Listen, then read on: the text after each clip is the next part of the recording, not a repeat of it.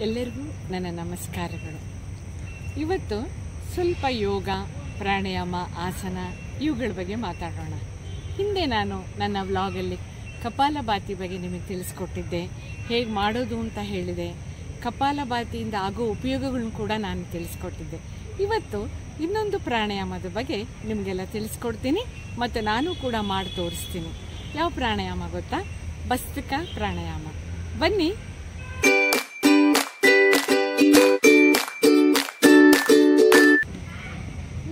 ನಾವು ಪ್ರಾಣಾಯಾಮ. ಅದ್ರ ಬಗ್ಗೆ ಒಂದೆರಡು ಮಾತು.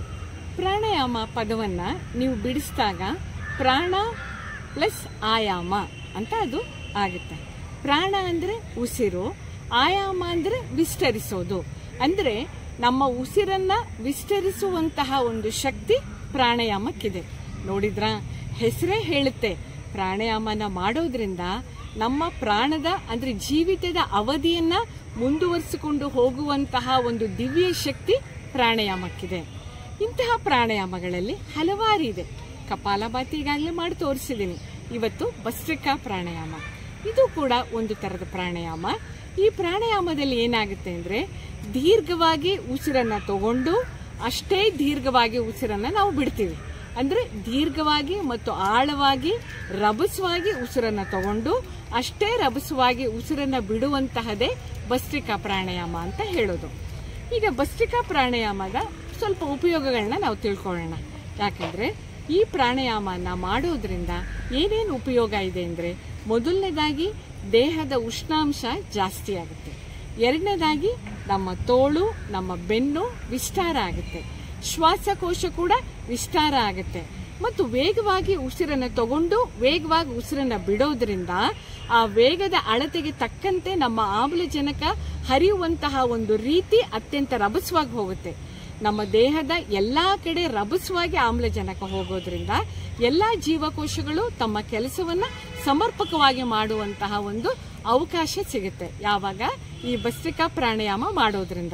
ಇನ್ನೊಂದು, ಈಗ ಮೂಗು ಕಟ್ಟಿರೋದಾಗ್ಲಿ ಅಥವಾ ತಲೆನೋವು ಬಂದಿರೋದಾಗ್ಲಿ, ಇದು ಕೂಡ ಕ್ರಮೇಣ ಈ ಅಭ್ಯಾಸವನ್ನು ಸತತವಾಗಿ ಮಾಡೋದ್ರಿಂದ ಇವುಗಳ ಕಾಯಿಲೆ ಕೂಡ ದೂರ ಆಗುತ್ತೆ.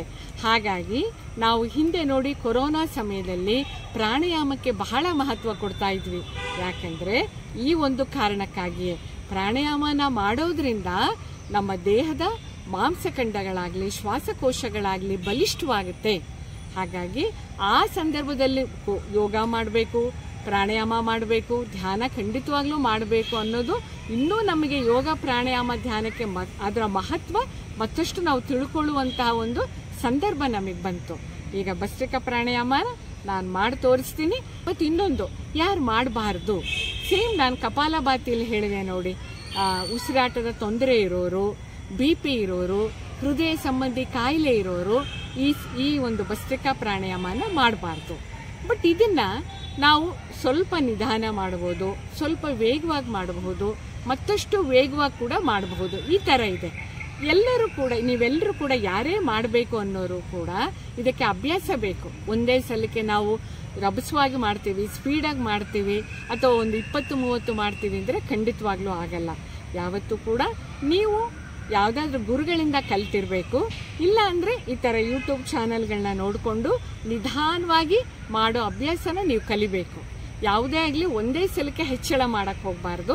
ಅಭ್ಯಾಸನ ದಿನದಿಂದ ದಿನಕ್ಕೆ ಮಾಡ್ತಾ ಮಾಡ್ತಾ ಒಂದು ವಾರ, ಒಂದು ಐದು ಸಲ ಮಾಡಿ. ಹೀಗೆ ದಿನ ದಿನ ಅದನ್ನು ಮಾಡುವ ಒಂದು ಸಂಖ್ಯೆಗಳ ಜಾಸ್ತಿ ಆಗ್ತಾ ಹೋದಂತೆ ಅದಕ್ಕೆ ನೀವು ಪರಿಣಿತರಾಗ್ತಾ ಹೋಗ್ತೀರ. ಮತ್ತು ಇನ್ನೊಂದು ನಮ್ಮ ದೇಹಕ್ಕೆ ನಾವೇ ಡಾಕ್ಟರ್. ಯಾಕಂದರೆ ನಮ್ಮ ದೇಹ ಹೇಗಿದೆ? ಎಷ್ಟು ಮಾಡಿದರೆ ನಮ್ಮ ದೇಹ ಅದನ್ನು ನಿಯಂತ್ರಿಸಬಲ್ಲದು ಅನ್ನೋದು ನಮಗಿಂತ ಚೆನ್ನಾಗಿ ಯಾರಿಗೂ ಗೊತ್ತಾಗಲ್ಲ. ಆದ್ದರಿಂದ ಯಾರು ನನ್ನ ವಿಡಿಯೋನ ನೋಡಿ ಮಾಡ್ತೀರೋ ಅವರೆಲ್ಲರೂ ಕೂಡ ನಿಮ್ಮ ದೇಹದ ಬಗ್ಗೆ ನೀವು ಕಾಳಜಿ ತಗೋಬೇಕು. ನನ್ನ ದೇಹ ಹೇಗಿದೆ? ನಾನು ಇಷ್ಟು ಸ್ಪೀಡಾಗಿ ಮಾಡಬಲ್ಲೆ ಅನ್ನೋದು ನೀವು ಯೋಚನೆ ಮಾಡಿ. ಇನ್ನೂ ಬೇಕು ಅಂದರೆ ಎಲ್ರಿಗೂ ಇವಾಗ ಒಂದು ಫ್ಯಾಮಿಲಿ ಡಾಕ್ಟರ್ ಅಂತ ಒಬ್ಬರು ಇರ್ತಾರೆ. ಅಥವಾ ನಿಮ್ಮ ಹತ್ತಿರ ಸಂಬಂಧಿಗಳು ಯಾರು ವೈದ್ಯರಿದ್ದರೆ ಅಥವಾ ಆಯುರ್ವೇದ ವೈದ್ಯರಿದ್ದರೆ ಅಥವಾ ನೀವು ಯಾವಾದರೂ ಹಿಂದೆ ಯೋಗ ಕಲ್ತಿದ್ರೆ, ಆ ಗುರುಗಳ ಹತ್ರ ಅಥವಾ ಡಾಕ್ಟರ್ ಹತ್ರ ನೀವು ಸಂಪರ್ಕಿಸಿ. ನಾನು ಈ ಥರ ಮಾಡಬಹುದಾ? ನನ್ನ ಹೆಲ್ತ್ ಈ ಥರ ಇದೆ ಅಂತ ತಿಳ್ಕೊಳ್ಳಿ. ತಿಳ್ಕೊಂಡು ಮಾಡಿ, ಆಯಿತಾ? ಯಾಕಂದರೆ ಯಾವುದೇ ಆಗಲಿ, ಯಾವುದೇ ಒಂದು ಕಲಿಯೋದಕ್ಕಿಂತ ಮುಂಚೆ ಪೂರ್ವ ಸಿದ್ಧತೆ ಇರಬೇಕು. ನನ್ನ ದೇಹ ಹೇಗಿದೆ, ನಾನು ವಯಸ್ಸು ಹೇಗಿದೆ, ನಾನು ಇದು ಮಾಡಬಲ್ಲ ನನಗೆ ಯಾವ್ಯಾವ ಥರ ಕಾಯಿಲೆಗಳಿದೆ ಮುಂತಾದಗಳನ್ನೆಲ್ಲ ನೀವು ಯೋಚನೆ ಮಾಡಿ ಮಾಡಿ. ಬಟ್ ಇದನ್ನು ಮಾಡೋದ್ರಿಂದ ಅಂತೂ ತುಂಬ ಒಳ್ಳೆಯದಾಗುತ್ತೆ ನಾವು ಕೈಯನ್ನು ಮೇಲೆತ್ತಿ ಉಸಿರನ್ನು ರಭಸವಾಗಿ ತಗೊಂಡು ಉಸಿರನ್ನು ಕೆಳಗೆ ಬಿಡೋದ್ರಿಂದ ನಮ್ಮ ಬೆನ್ನು, ನಮ್ಮ ಶ್ವಾಸಕೋಶ ಮತ್ತು ನಮ್ಮ ಕೈಯ ಮಾಂಸಖಂಡಗಳು ಗಟ್ಟಿಯಾಗುತ್ತೆ. ಬೆನ್ನು ನೇರ ಆಗುತ್ತೆ. ನಮ್ಮ ನಡಿಗೆಯಲ್ಲಿ ನಾವು ನಡಿಗೆ ಮಾಡ್ತಾ ಇದ್ರೇ ನಮ್ಮ ಬೇರೆಯವ್ರು ಹೇಳಬಹುದು, ಓ, ಇವ್ರು ಯೋಗ ಕಲ್ತಿರಬಹುದು ಅಂತ. ಯಾಕಂದರೆ ಯೋಗ ಅನ್ನೋದು ನಮ್ಮ ನಡಿಗೆ, ನಮ್ಮ ಆಹಾರ ಪದ್ಧತಿ, ನಮ್ಮ ದೇಹದ ಮೇಲೆ ಬಹಳ ಪರಿಣಾಮ ಬೀರುತ್ತೆ. ನೀವು ಯೋಗ ಕಲ್ತು ಕಲ್ತ ಹಾಗೇ ನಿಮಗೆ ಗೊತ್ತಾಗುತ್ತೆ ಯಾವ ಆಹಾರ ತಗೋಬೇಕು, ಯಾವ ಆಹಾರ ತಗೋಬಾರ್ದು. ಮತ್ತು ಯೋಗ ಅಷ್ಟು ನಿಮಗೆ ದೇಹಕ್ಕೆ ಒಳ್ಳೆಯದೇನು ಮಾಡುತ್ತೆ? ಒಂದು ದಿನ ಯೋಗ ಮಾಡದಿರೋ ಅಯ್ಯೋ, ನಾನು ಯಾಕಪ್ಪ ಮಾಡಿಲ್ಲ ಅಂತ ಅನಿಸ್ಬಿಡುತ್ತೆ. ಇನ್ನೊಂದು, ಈ ಪ್ರಾಣಾಯಾಮ ಮತ್ತು ಯೋಗ ಆಸನ ಧ್ಯಾನ ಅಂತ ಇದೆ. ಈಗ ಕೆಲವ್ರಿಗೆ ಏನಾಗುತ್ತೆ ಅಂದರೆ ಆಸನಗಳನ್ನ ಕೆಲವು ವಯಸ್ಸಿನವರೆಗೂ ಮಾಡಲಿಕ್ಕೆ ಮಾತ್ರ ಸಾಧ್ಯ ಆಗುತ್ತೆ. ಆಮೇಲೆ ಆಸನಗಳು ಸ್ವಲ್ಪ ಕಷ್ಟ ಅನಿಸುತ್ತೆ. ಆದರೆ, ನೀವು ಪ್ರಾಣಾಯಾಮ ಮತ್ತು ನೀವು ಧ್ಯಾನನ ಯಾವಾಗ ಬೇಕಾದರೂ, ಎಷ್ಟನೇ ವಯಸ್ಸಲ್ಲಿ ಬೇಕಾದರೂ ಮಾಡಬಹುದು. ಇದನ್ನೇ ಕುತ್ಕೊಂಡೇ ಮಾಡಬೇಕು ಅಂತಿಲ್ಲ. ಚೇರ್ ಮೇಲೆ ಕುತ್ಕೊಂಡು ಕೂಡ ನೀವು ಮಾಡ್ಬೋದು. ಚೇರ್ ಮೇಲೆ ಕುತ್ಕೊಂಡು ಧ್ಯಾನ ಮಾಡ್ಬೋದು. ಪ್ರಾಣಾಯಾಮ ಕೂಡ ಮಾಡಬಹುದು. ಅಕಸ್ಮಾತ್ ನೀವು ಕೆಳಗೆ ಕುತ್ಕೊಳ್ಳಿಕ್ಕೆ ಸಾಧ್ಯವಾದರೆ ಯೋಗ ಮ್ಯಾಟ್ ಹಾಕೊಂಡು ಮಾಡಬಹುದು ಯಾವ ಆಸನದಲ್ಲಾದರೂ ಕುತ್ಕೊಂಡು ಈ ಭಸ್ತ್ರಿಕಾ ಪ್ರಾಣಾಯಾಮನ ಮಾಡಬಹುದು ಸುಖಾಸನದಲ್ಲಿ ಕೂರಬಹುದು ವಜ್ರಾಸನದಲ್ಲಿ ಕೂರಬಹುದು ಪದ್ಮಾಸನದಲ್ಲಿ ಕೂತು ಕೂಡ ಮಾಡಬಹುದು. ಇವತ್ತು ನಾನು ವಜ್ರಾಸನದಲ್ಲಿ ಕೂತ್ಕೊಂಡು ಮಾಡ್ತೀನಿ. ನಾನು ನೂರು ಭಸ್ತ್ರಿಕಾ ಪ್ರಾಣಾಯಾಮನ ಮಾಡ್ಕೊಂಡು ಬರ್ತೀನಿ ಆಮೇಲೆ ಇಪ್ಪತ್ತು ಅದನ್ನು ಸ್ವಲ್ಪ ವೇಗವಾಗಿ ಮಾಡ್ತೀನಿ. ಯಾಕಂದ್ರೆ ಇದು ಸತತವಾಗಿ ನನಗೆ ಮಾಡೋ ಅಭ್ಯಾಸ ಇರೋದ್ರಿಂದ ಇಷ್ಟು ನಾನು ನಿಮಗೆ ಮಾಡಿ ತೋರಿಸಿದಾಗ ನೀವು ಕಡಿಮೆ ಅವಧಿಯಲ್ಲಿ ಅಂದ್ರೆ ಒಂದು ಐದು, ಹತ್ತು, ಹದಿನೈದು ಮಾಡ್ತಾ ಮಾಡ್ತಾ, ಅಭ್ಯಾಸ ಮಾಡ್ತಾ ಮಾಡ್ತಾ ಅಷ್ಟು ಮಾಡೋ ಸಾಮರ್ಥ್ಯ ನಿಮಗಿರುತ್ತೆ ಇನ್ನೊಂದು ಪ್ರಶ್ನೆ ಆತ್ಮೀಯರೇ ಜಲಜ ಇಷ್ಟೆಲ್ಲ ಹೇಳ್ತಾರಲ್ಲ, ಯೋಗ ಹೇಗೆ ಕಲ್ತಿದ್ದಾರೆ ಎಲ್ಲಿ ಕಲ್ತಿದ್ದಾರೆ, ಎಷ್ಟು ಸಮಯ ಕಲ್ತಿದ್ದಾರೆ ಅಂತ ನಿಮಗೆ ಮನಸ್ಸಿನಲ್ಲಿ ಖಂಡಿತವಾಗ್ಲೂ ನಿಮಗೆ ಪ್ರಶ್ನೆ ಮೂಡುತ್ತೆ. ನಾನು ಅದ್ರ ಬಗ್ಗೆ ನಿಮಗೆ ವ್ಲಾಗಲ್ಲಿ ಮುಂಚಿತವಾಗಿ ಹೇಳಬೇಕಾಗಿತ್ತು. ಕ್ಷಮಿಸಿ ಆಯಿತಾ? ಈಗ ನಾನು ನಿಮಗೆ ಕೊನೆಗೆ ಹೇಳ್ತಿದ್ದೀನಿ. ನಾನು ಕೂಡ ಎಂಟು ವರ್ಷದಿಂದ ಯೋಗ ಕಲ್ತಿದ್ದೀನಿ. ನಾನು ಯೋಗ ಕಲಿಯುವಾಗ ಮೊದಲು ನಾನು ಒಂದು ವರ್ಷ ಆಸನಗಳನ್ನೇ ನಾನು ಕಲಿತೆ. ಹೇಗೆ ಅಂದರೆ ಲೂಸ್ನಿಂಗ್ ಎಕ್ಸಸೈಸ್ ನಿಮ್ಮ ತಲೆಯಿಂದ ಮತ್ತು ಕಾಲಿನವರೆಗೆ ಎಲ್ಲ ಅಂಗಾಂಗಗಳನ್ನು ಮಾಂಸಖಂಡಗಳು ಎಲ್ಲವೂ ಲೂಸ್ನಿಂಗ್ ಎಕ್ಸಸೈಸ್ಗಳನ್ನೇ ನಾನು ಅಷ್ಟು ವರ್ಷ ಕಲಿತು. ಆಮೇಲೆ ಸೂರ್ಯ ನಮಸ್ಕಾರ, ಆಮೇಲೆ ಅಡ್ವಾನ್ಸ್ ಆಸನಗಳು, ಹೀಗೆ ಹಂತ ಹಂತವಾಗಿ ನಾನು ಕಲಿತೆ. ಯಾವುದೇ ಆಗಲಿ, ಒಂದು ತಿಂಗಳು, ಎರಡು ತಿಂಗಳು, ಆರು ತಿಂಗಳಿಗೆ ಖಂಡಿತ ಬರೋದಲ್ಲ ಇದು. ಇದು ವರ್ಷಾನುಗಂಟ್ಲೆ ಅಭ್ಯಾಸ ಮಾಡಬೇಕು. ಕಲ್ಪ ಮೇಲೂ ಕೂಡ ಇದನ್ನು ಬಿಡಬಾರ್ದು. ದಿನ ಅಭ್ಯಾಸ ಮಾಡೋದ್ರಿಂದ ನಮಗೆ ನಮ್ಮ ದೇಹ ಯಾವ್ಯಾವ ಆಸನಕ್ಕೆ ಬಗ್ಗುತ್ತೆ ಯಾವ್ಯಾವ ಆಸನಗಳನ್ನ ಮಾಡಬಹುದು ಅಂತ ನಮಗೆ ನಮಗೆ ಗೊತ್ತಾಗುತ್ತೆ? ನಂತರ ನಾನು ಬೇರೆಯವರಿಗೆ ಕೂಡ ಹೇಳ್ಕೊಡ್ಲಿಕ್ಕೆ ಶುರು ಮಾಡಿದೆ. ಯಾವಾಗ ನನ್ನ ದೇಹದ ಮೇಲೆ ಅದು ಒಳ್ಳೆ ಪರಿಣಾಮ ಬೀರಿತು ಯೋಗ ಆಸನ ಧ್ಯಾನದಿಂದ ನಾನೆಷ್ಟು ಕಲಿತೆ, ಅದು ನನ್ನ ಆರೋಗ್ಯದ ಮೇಲೆ ಹೇಗೆ ಪರಿಣಾಮ ಬೀರುತ್ತೋ? ಇದನ್ನೆಲ್ಲ ನಾನು ನಾಲ್ಕು, ಮೂರು, ನಾಲ್ಕು ವರ್ಷಗಳ ಕಾಲ ಗಮನಿಸ್ತಾ ಬಂದೆ. ನನ್ನಲ್ಲೇ ಮಹತ್ತರವಾದ ಬದಲಾವಣೆ ಆಯಿತು ಆತ್ಮೇಲೆ ಹಿಂದೆ ನಾನು ಪೂಜೆ ಮಾಡುವಾಗಲಿ ಸತ್ಯನಾರಾಯಣ ಪೂಜೆಗಾಗಲಿ ಚಕ್ಕಂಬಕ್ಲಾಗ ಹಾಕೊಂಡು ಕುತ್ಕೊಳ್ಳೋಕೆ ನನ್ನ ಕೈಲಾಗ್ತಿರಲಿಲ್ಲ ಮೆಟ್ಲುಗಳನ್ನ ಜಾಸ್ತಿ ಹತ್ತುತ್ತಾ ಇರಲಿಲ್ಲ. ಕುತ್ಕೊಂಡು ಹೇಳುವಾಗ ಕೈ ಕಾಲುಗಳು ಜೋಬು ಹಿಡಿತಾ ಇತ್ತು. ಆಮೇಲೆ ಸ್ವಲ್ಪ ಕೆಲಸ ಮಾಡಿದ ತಕ್ಷಣ ನನಗೆ ಸುಸ್ತಾಗ್ತಾ ಇತ್ತು. ಸಾಮಾನ್ಯವಾಗಿ ಒಂದು ಐವತ್ತು ವಯಸ್ಸು ದಾಟಿದ ಮೇಲೆ ಇದು ಆಗೋದಂತೂ ಸಹಜನೇ. ನಮ್ಮ ದೇಹದಲ್ಲಿ ಕೂಡ ವ್ಯತ್ಯಾಸಗಳಾಗ್ತಾ ಇರುತ್ತೆ. ಆಗ ನಾನು ಯೋಗ ಕಲಿಯೋಕ್ಕೆ ಶುರು ಮಾಡಿದೆ. ಯೋಗ ಕಲಿತು ಒಂದು ಮೂರು, ನಾಲ್ಕು ವರ್ಷಗಳ ನಂತರ ನನ್ನ ದೇಹದಲ್ಲಿ ತುಂಬ ಬದಲಾವಣೆ ಆಯಿತು. ಮತ್ತು ಊಟ ಪ್ರತಿಯೊಂದರಲ್ಲೂ ಕೂಡ ಆಹಾರದಲ್ಲಿ ಬದಲಾವಣೆ ಆಯಿತು. ಆಮೇಲೆ ಧ್ಯಾನ ಮಾಡ್ಕೊಳ್ಳೋಕೆ ಶುರು ಮಾಡಿದೆ. ಮನಸ್ಸಿಗೆ ನೆಮ್ಮದಿ ಸಿಕ್ತು. ಆದ್ಮೇಲೆ ಅದಕ್ಕೆ ಇನ್ನೂ ನಿಮಗೆ ವಯಸ್ಸಿದ್ದಾಗಲೇ ಬಿಡುವಿದ್ದಾಗಲೇ ನೀವು ಇನ್ನೂ ಚಿಕ್ಕ ವಯಸ್ಸಲ್ಲಿದ್ದಾಗಲೇ ಯೋಗ ಕಲಿಯೋಕ್ಕೆ ಶುರು ಮಾಡಿ. ಆಸನಗಳನ್ನ ಕಲಿಯಿರಿ ಯೋಗ ಮತ್ತು ಆಸನಕ್ಕೆ ಎಷ್ಟು ನೀವು ಪ್ರಾಮುಖ್ಯತೆ ಕೊಡ್ತೀರೋ ಅಷ್ಟೇ ಪ್ರಾಮುಖ್ಯತೆ ಪ್ರಾಣಾಯಾಮಕ್ಕೆ ಮತ್ತು ಧ್ಯಾನಕ್ಕೆ ಕೊಡಬೇಕು. ಈಗ ನಾನು ಹೇಳಿದೆ ಆಸನಗಳನ್ನ ಕೆಲವು ವರ್ಷದವರೆಗೆ ಅಂದರೆ ಸ್ವಲ್ಪ ನಾವು ಸಿಕ್ಸ್ಟಿ ಆದಮೇಲೆ ಸ್ವಲ್ಪ ಆಸನಗಳು, ಸ್ವಲ್ಪ ಕಷ್ಟ ಅನಿಸ್ಬೋದು. ಆದರೆ ನಾವು ಪ್ರಾಣಾಯಾಮ ಧ್ಯಾನನ ನಾವು ನಮ್ಮ ಉಸಿರಿನ ಕೊನೆ ತನಕ ಕೂಡ ಕುತ್ಕೊಂಡು ಮಾಡಬಹುದು ಪ್ರಾಣಾಯಾಮ ನಮಗೆ ದೇಹದ ಉಷ್ಣಾಂಶತೆಯನ್ನು ಹೆಚ್ಚುತ್ತದೆ. ಈ ಮಳೆಗಾಲದಲ್ಲಿ, ಚಳಿಗಾಲದಲ್ಲಿ ಮಾಮೂಲಿಯಾಗಿ ಬರೋ ಶೀತ, ಕೆಮ್ಮು, ಜ್ವರ ಇದ್ಯಾವುದು ಕೂಡ ನಮ್ಮ ದೇಹಕ್ಕೆ ಬೇಗನೆ ಬರೋದೇ ಇಲ್ಲ. ಯಾಕಂದ್ರೆ ಪ್ರಾಣಾಯಾಮ ಅಷ್ಟು ನಮ್ಮ ದೇಹನ ಗಟ್ಟಿ ಮಾಡುತ್ತೆ. ಸೊ ಇಂತಹ ಪ್ರಾಣಾಯಾಮ ನಾವು ಯಾಕೆ ಅಭ್ಯಾಸ ಮಾಡಬಾರ್ದು? ಅಲ್ವಾ ಸ್ನೇಹಿತರೆ? ಹಾಗಾದರೆ ಈಗ ನಿಮಗೆ ಭಸ್ತ್ರಿಕಾ ಪ್ರಾಣಾಯಾಮದ ಬಗ್ಗೆ ವಿವರವಾಗಿ ಹೇಳಿದೆ. ಮತ್ತು ನಾನು ಯಾಕೆ ನಿಮಗೆ ಇದನ್ನು ಹೇಳ್ಕೊಡ್ತಾ ಇದ್ದೀನಿ? ಯಾಕಂದರೆ ಅದನ್ನು ನಾನು ಕಲ್ತಿದ್ದೀನಿ, ಅದರಲ್ಲಿ ಪರಿಣಿತಿ ಹೊಂದಿದ್ದೀನಿ. ಸುಮಾರು ವಿದ್ಯಾರ್ಥಿಗಳಿಗೆ ನಾನು ಹೇಳ್ಕೊಟ್ಟಿದ್ದೀನಿ ಆನ್ಲೈನಲ್ಲಿ ಕೂಡ ಹೇಳ್ಕೊಟ್ಟಿದ್ದೀನಿ. ಇನ್ನೊಬ್ಬರಿಗೆ ಹೇಳ್ಕೊಟ್ಟಷ್ಟು ಕೂಡ ನಾವು ಇನ್ನು ಕಲಿಯುವಿಕೆ ಜಾಸ್ತಿ ಆಗುತ್ತೆ ಸ್ನೇಹಿತರೆ. ಇನ್ನೊಬ್ಬರಿಗೆ ಹೇಳ್ಕೊಡುವಾಗ ನಾವು ಅದ್ರ ಬಗ್ಗೆ ಇನ್ನಷ್ಟು ಕಾಳಜಿ ತಗೊಂತೀವಿ. ಇನ್ನೇನೇನು ಆ ಆಸನ ಆಗಲಿ, ಪ್ರಾಣಾಯಾಮ ಆಗಲಿ, ಅದು ಮಾಡೋದ್ರಿಂದ ಎಷ್ಟೊಂದು ಉಪಯೋಗ ಅಂತ ಇನ್ನಷ್ಟು ಆಳವಾಗಿ ತಿಳ್ಕೊಳ್ತೀವಿ. ಮತ್ತು ನಿಮಗೆ ಹೇಳುವಾಗ ನಾನು ಇನ್ನಷ್ಟು ಕಲಿತೀನಿ.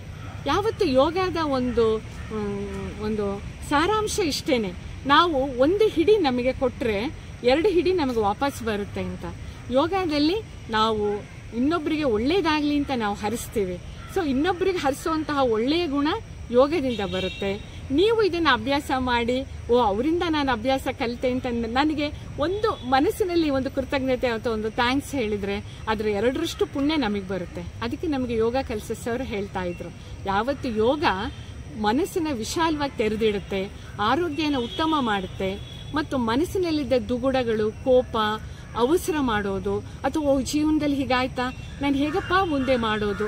ಇವೆಲ್ಲವನ್ನ ದೂರ ಮಾಡಿ ಮನಸ್ಸಿಗೆ ನೆಮ್ಮದಿ ಸಿಗುತ್ತೆ. ಈಗ, ಇವಾಗ ಮನಸ್ಸಿನ ನೆಮ್ಮದಿಗಾಗಿ ಎಷ್ಟೊಂದು ನಾವು ಹೋರಾಟ ನಡೆಸ್ತಾ ಇದ್ದೀವಿ ಅಲ್ವಾ? ಮನೆಯಲ್ಲೇ ಕೂತ್ಕೊಂಡು ಇಷ್ಟೊಂದು ಸರಳವಾಗಿರೋ ಪ್ರಾಣಾಯಾಮ, ಧ್ಯಾನ ಮಾಡೋದ್ರಿಂದ ನಮ್ಮ ಮನಃಶಾಂತಿಯನ್ನು ನಾವೇ ತಂದುಕೊಳ್ಳೋ ಶಕ್ತಿ ಯೋಗಕ್ಕಿದೆ. ಈಗ ನಾನು ಹೇಳಿದ ಹಾಗೆ ಸುಖಾಸನದಲ್ಲಿ ಕೂರ್ಬೋದು ಪದ್ಮಾಸನದಲ್ಲಿ ಕೂರ್ಬೋದು ನಾನಿವಾಗ ವಜ್ರಾಸನದಲ್ಲಿ ಕೂತ್ಕೊಂಡಿದ್ದೀನಿ. ತೋರಿಸ್ತೀನಿ ಸ್ನೇಹಿತರೆ. ಇವಾಗ ಇನ್ಹೇಲ್ ಮಾಡ್ತಾ ಮೇಲೆ ಹೋಗಬೇಕು ಕೈ ಎಕ್ಸೇಲ್ ಮಾಡ್ತಾ ಕೆಳಗೆ ಬರಬೇಕು. ಅಂದರೆ ಉಸಿರಾಟ ಇನ್ಹೇಲ್ ಎಕ್ಸೈಲ್ ಇನ್ಹೇಲ್ ಎಕ್ಸೈಲ್ ಇವಾಗ ಮಾಡಿ ತೋರಿಸ್ತೀನಿ ಆಯ್ತಾ? ಒನ್ ಟೂ three,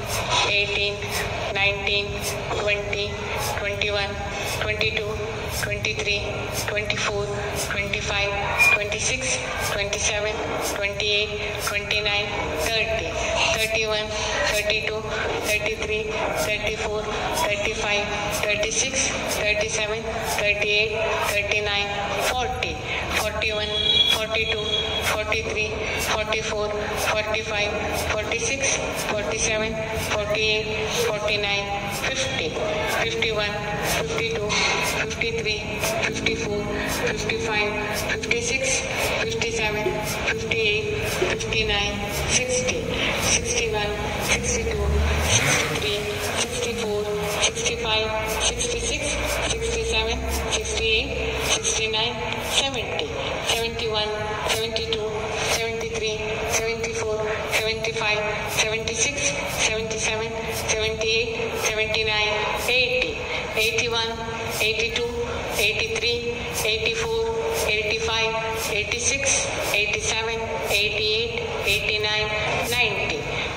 91, 92, 93, 94, 95, 96,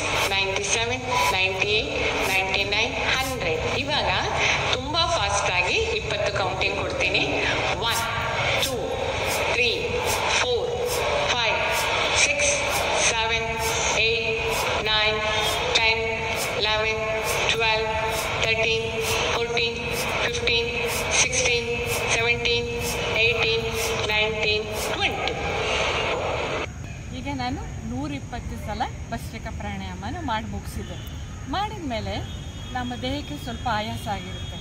ಅವಾಗ ಏನು ಮಾಡಬೇಕು ಅಂದರೆ ಇನ್ಹೇಲ್ ಮೂಗಿಂದ ಮಾಡಿ ಬಾಯಿಂದ ಎಕ್ಸೇಲ್ ಮಾಡಬೇಕು. ಮೂಗಿನಿಂದ ಉಸಿರನ್ನು ತಗೊಂಡು ಬಾಯಿಂದ ಎಕ್ಸೇಲ್ ಮಾಡಬೇಕು. ಈಗ ಐದು ಸಲ ಮಾಡ್ತೀನಿ ನೋಡಿ.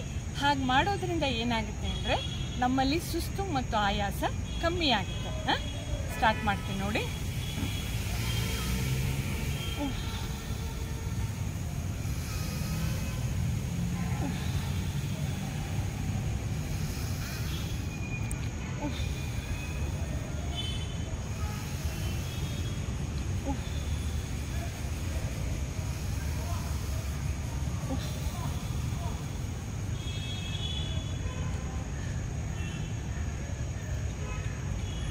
ಭಸ್ತ್ರಿಕಾ ಪ್ರಾಣಾಯಾಮ ಆದಮೇಲೆ ಅಟ್ಲೀಸ್ಟ್ ಒಂದು ಮೂವತ್ತು ಸೆಕೆಂಡು ನಾವು ಕಾಮ ಕುತ್ಕೊಳ್ಬೇಕು.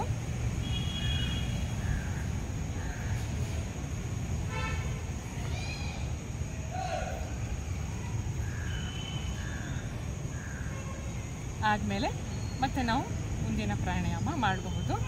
ಮತ್ತೆ ಮುಂದಿನ ಸಂಚಿಕೆಯಲ್ಲಿ ಮತ್ತೊಂದು ಪ್ರಾಣಾಯಾಮ ನಾನು ನಿಮಗೆ ಹೇಳ್ಕೊಡ್ತೀನಿ. ಖಂಡಿತ ಎಲ್ಲರೂ ಅಭ್ಯಾಸ ಮಾಡ್ತೀರಿ ತಾನೆ? ಹ? ಇನ್ನೊಂದು ಗೆಳತಿಯರೇ, ನನ್ನ ವಿಡಿಯೋ ನೋಡಿ, ನಿಮಗೆ ಇಷ್ಟ ಆದರೆ ನೀವು ಲೈಕ್ ಮಾಡಬೇಕು. ಮತ್ತು ದಯವಿಟ್ಟು ಯಾರು ಸಬ್ಸ್ಕ್ರೈಬ್ ಮಾಡಿಲ್ಲ ಅಂದರೆ ಸಬ್ಸ್ಕ್ರೈಬ್ ಮಾಡಿ. ಮತ್ತು ನಿಮ್ಮ ಬಂಧು ಬಾಂಧವರಿಗೂ, ನಿಮ್ಮ ಗೆಳತಿಯರಿಗೂ ಏನಾದರೂ ಶೇರ್ ಮಾಡಬೇಕು ಅನಿಸಿದ್ರೆ ಖಂಡಿತವಾಗ್ಲೂ ಶೇರ್ ಮಾಡಿ. ನಿಮ್ಮ ಒಂದು ಸಬ್ಸ್ಕ್ರೈಬ್ ನನ್ನ ಮುಂದಿನ ವಿಡಿಯೋ ಮಾಡಲಿಕ್ಕೆ ನನಗೆ ಇನ್ನಷ್ಟು ಉತ್ಸಾಹ ಮತ್ತು ಚೈತನ್ಯನ ತಂದುಕೊಡುತ್ತೆ ಮತ್ತೆ ಮುಂದಿನ ಸಂಚಿಕೆಯಲ್ಲಿ ಮತ್ತೊಂದು ಪ್ರಾಣಾಯಾಮದೊಂದಿಗೆ ನಿಮ್ಮ ಜಲಜ ನಿಮ್ಮ ಮುಂದೆ. ಹೋಗಿ ಬರಲಾ? ನಮಸ್ಕಾರ.